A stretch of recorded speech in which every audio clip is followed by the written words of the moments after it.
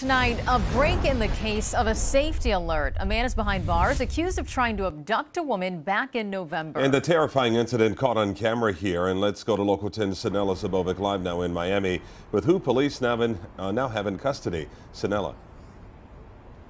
Well, Calvin, Miami police say the suspect is not only responsible for an attempted abduction that occurred here in the city of Miami, but also another one that occurred on Miami Beach. So now he's facing more charges.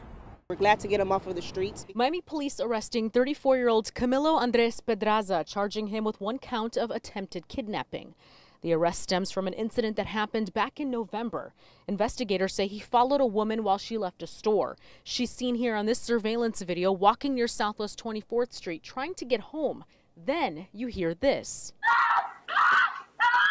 The victim's chilling screams as Pedraza allegedly grabbed her by the waist and attempted to pick her up. Fortunate enough that female victim did scream uh, for her life, causing neighbors and nearby witnesses uh, to wake up and come to her aid. Pedraza is then seen running away. Cameras in the area also capture the car he was in, a black Toyota Corolla.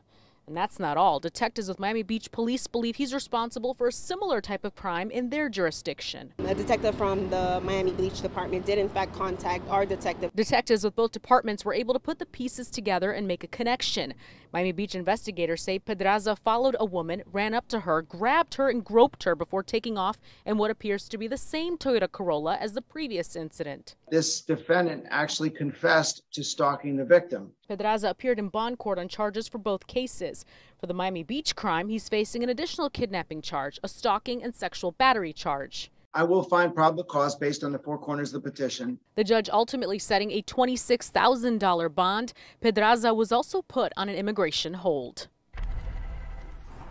So investigators believe there may be more victims out there and are urging them to come forward. That's the latest here out of Miami. Sanela Sabovic, Local 10 News. Okay.